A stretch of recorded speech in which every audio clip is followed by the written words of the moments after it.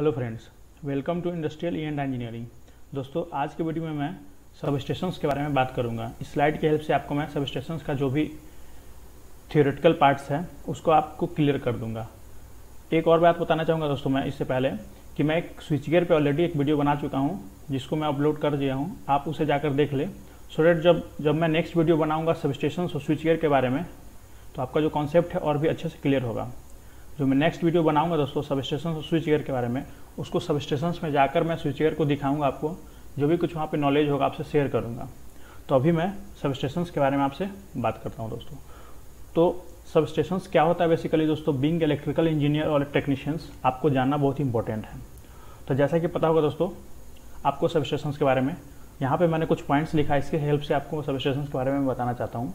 कि sub station दोस्तों, एक होता है, वो हमारा इलेक्ट्रिकल जनरेशन का पार्ट होता है, या ट्रांसमिशन का बोल सकते हैं, या डिस्ट्रीब्यूशन सिस्टम इन तीनों सिस्टम का जो होता है दोस्तों सब स्टेशन एक पार्ट होता है, जो कि बहुत ही वाइटल रोल प्ले करता है।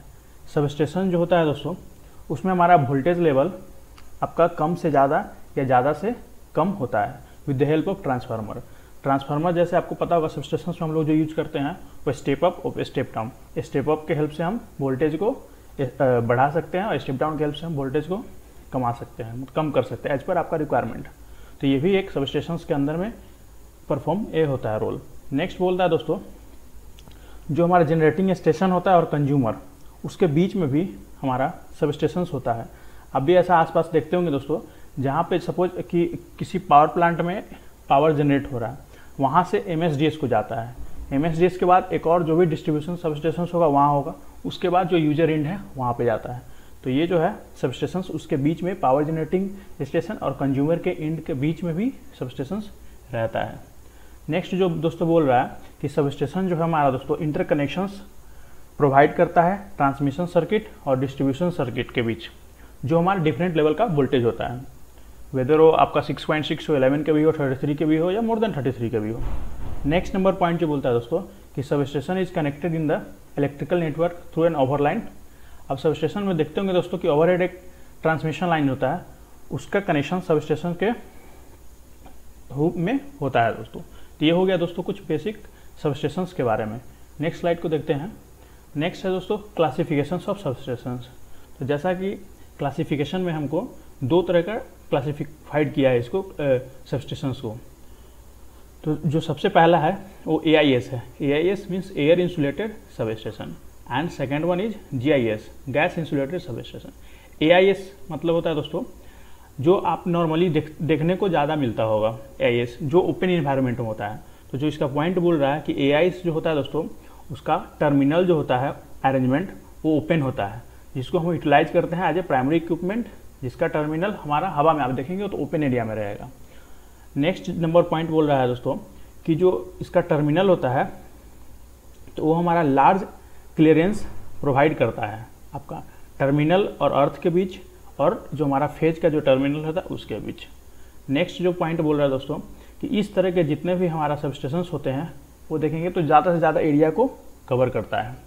और ये हमारा सब स्टेशन ए जो एयर इंसुलेटेड सब स्टेशन है, उसमें होता है। नेक्स्ट स्लाइड हम देखते हैं गैस इंसुलेटेड सब स्टेशन के बारे में।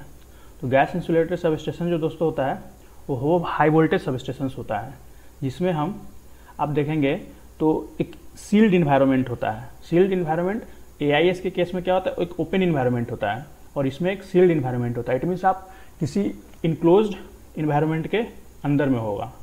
ये जो होता है दोस्तों जीआईएस के केस में एक गैस होता है, जिसको बोलते हैं एस जिसका फुल नेम है सल्फ़र हेक्सा फ्लोराइड जिसको हम लोग यूज़ करते हैं फ़ेज़ और फ़ेज़ को और फ़ेज़ और अर्थ को क्लियरेंस देने के लिए। तो ये क्वेश्चन भी दोस्तों आ सकता है कि कौन सा गैस यूज़ करते हैं हम। नेक्स्ट जो बोल रहा है कि इस तरह के जितने भी सब स्टेशन होते हैं, वो हमारे बड़े बड़े शहर में होते हैं दोस्तों। क्यों? क्योंकि ये जो सब स्टेशन है हमारा बड़े बड़े शहर में होता है, क्योंकि जो बड़े शहर का जो होता है दोस्तों, वो एरिया और जो वहाँ का लैंड होता है, वो बहुत ही कॉस्टली होता है।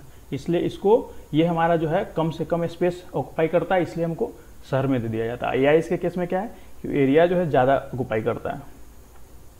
नेक्स्ट स्लाइड देखते हैं दोस्तों।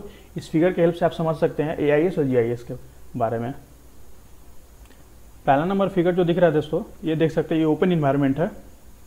और सेकेंड नंबर जो दिख रहा है, ये क्लोज इन्वायरमेंट है।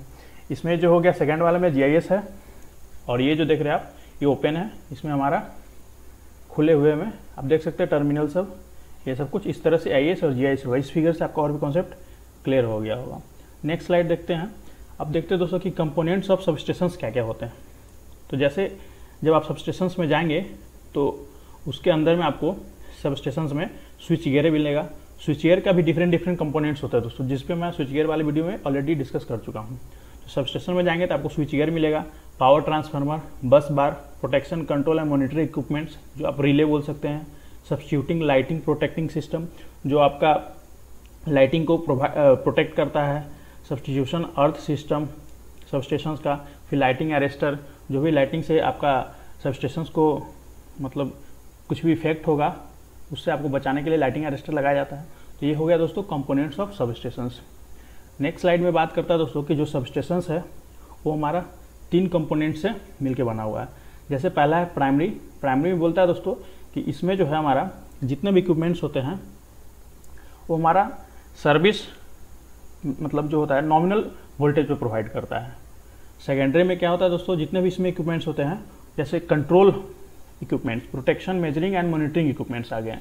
और ऑक्जिलरी पावर सप्लाई में जो हम ऑक्जिलरी पर्पज से यूज़ करते हैं। जैसे हमारा हो गया ए सी डी सी सप्लाई जो आप कंट्रोल सप्लाई यूज़ कर सकते हैं। जो भी आपका प्रोटेक्शन के लिए जो सप्लाई कोई भी जैसे रिले हो गया तो उसको आप सप्लाई देते हैं, उसको हो गया control measurement monitoring and equipment to operate तो ये सब हो गया। Next types of sub substations तो सब सबस्टेशंस दो तरह के होते हैं, एक ट्रांसमिशन सब सबस्टेशंस और एक डिस्ट्रीब्यूशन सबस्टेशन अब इसको समझते हैं दोस्तों। ट्रांसमिशन सबस्टेशंस में क्या होता है कि पावर जो होता है जनरेट एट जनरेटिंग स्टेशन तो जनरेटिंग स्टेशन जो होता है दोस्तों, वो पावर प्लांट होता है। फिर a substation is use in house to generating station to step up the voltage level of transmission अब क्या होता है दोस्तों, जो पावर प्लांट से हमारा पावर जनरेट होता है, वो हमारा अप्रोक्स जो हमारे, हम जो, जैसा मुझे पता है दोस्तों, जो हमारे यहाँ पावर प्लांट में जो जनरेट करता है, वो सिक्स पॉइंट सिक्स से भी करता है। फर्दर उसको स्विच यार्ड एम के हेल्प से स्टेप अप ट्रांसफार्मर लगा के उसको वोल्टेज को जितना भी आपको बढ़ाना है, बढ़ा सकते हैं एज पर रिक्वायरमेंट जो है, उसके बाद फिर आपको लो करके आपका यूज़र एंड में दिया जाता है। तो ये पहला नंबर पॉइंट यही बोल रहा है। नेक्स्ट सेकेंड नंबर पॉइंट बोलता है दोस्तों कि जो वोल्टेज लेवल है, आप उसको इंक्रीज कीजिए ट्रांसमिशन करने के लिए लॉन्ग डिस्टेंस के लिए। और फिर सब स्टेशन बीच में भी आपका डाल दिया जाता है। जैसे ज़्यादा देर के लिए ट्रांसमिशन किया जाता है किसी भी वोल्टेज लेवल को तो आपका बीच बीच में भी देखेंगे तो सब स्टेशन इम्प्लॉयड किया रहता है जगह जगह पे। क्योंकि इसमें जो लॉसेज है, वो भी होता है दोस्तों, इसके कारण ये हमारा क्या रहता है। नेक्स्ट है distribution sub station distribution sub station में जो पॉइंट बोल रहा है दोस्तों the power which is transmitted at very high voltage is not suitable for the consumer and क्योंकि डिस्ट्रीब्यूशन में जो बोला, जो पावर हमें ट्रांसमिट किया जाता है हाई वोल्टेज पे, वो हम लोग, उसको हम लोग यूज़ नहीं कर सकते वो कंज्यूमर के लिए नहीं होता डोमेस्टिक और इंडस्ट्रियल पर्पज़ के लिए यूज़ नहीं कर सकते। क्योंकि देखेंगे तो 133 के भी इस तरह के कुछ वोल्टेज रहते हैं। तो क्या होता है कि दोस्तों बीच बीच में सब स्टेशन प्रोवाइड किया जाता है, जिसको हम, हमें मतलब स्टेप डाउन करके यूज़र एंड में दिया जाता है। नेक्स्ट जो पॉइंट बोल रहा है दोस्तों, कि step down the voltage level to the suitable for distribution जैसे जो हमारा, जो हम लोग यूज़ करते हैं यूज़र जो वेदर वो कंज्यूमर हो या इंडस्ट्रियल हो डोमेस्टिक पर्पज से करते हो या इंडस्ट्रियल पर्पज से तो जो हम लोग मैक्सिमम जो वोल्टेज यूज़ करते हैं दोस्तों एलेवन के भी, जो हम लोग स्विच यार्ड में क्योंकि बहुत ही हाई वोल्टेज होता है तो उसको क्या होता है स्टेप डाउन ट्रांसफार्मर के हेल्प से उसको स्टेप डाउन किया जाता है फर्दर वो हमारे पास आता है, फिर हमने उसको स्टेप डाउन ट्रांसफार्मर से सपोज़ हमने, एक एग्जांपल मैंने आपको बता रहा हूँ, एक थर्टी थ्री के का आपका जो है वोल्टेज आप लेंगे उसे और 35 फाइव एम का ट्रांसफार्मर में देंगे, जिससे आपका स्टेप डाउन करके 11 के निकालेंगे। तो 11 के के से और 11 के से नीचे के जितने वोल्टेज है, उस पर आप कोई भी अपने मोटर या जो भी आपके पास इक्विपमेंट्स है, उसको ऑपरेट कर सकते हैं। तो मैक्सिमम जो इंडस्ट्री में यूज़ होता है दोस्तों, वो इलेवन के वोल्टेज किसी भी मशीन या मोटर को ऑपरेट करने के लिए। द कंज्यूमर में भी डोमेस्टिक और इंडस्ट्रियल जो कंज्यूमर हो हो सकता है दोस्तों डोमेस्टिक है या इंडस्ट्रियल पर्पज यूज़ कर रहा है। नेक्स्ट में बात करते हैं दोस्तों सब स्टेशन लेआउट तो ये जो दोस्तों देख रहे हैं आप सब स्टेशन लेआउट है। एक पहला वाला जो फिगर देख रहे हो सिंगल बस बार लेआउट है। दूसरा वाला जो है डबल बस बार लेआउट सिंगल बस बार में और डबल बस बार में कोई डिफरेंस नहीं। आप देख सकते हैं, बस दो बस बार का चेंजेस आ गया सेकंड वाले में और पहले वाले में सिंगल है। और यहाँ पे एक बस कपलर भी आपका दिखाया हुआ है।